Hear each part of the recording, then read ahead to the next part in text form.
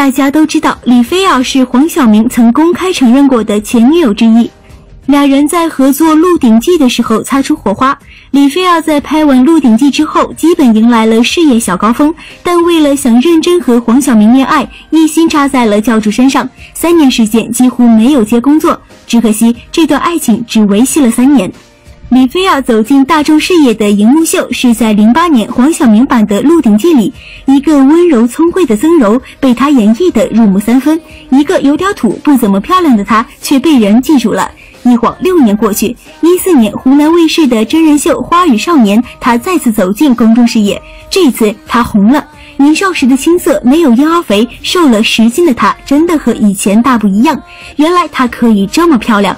李菲儿的身材好了，美美的爱情也来了。前不久，李菲儿被传恋爱了，男主角就是 Super Junior 里的金希澈。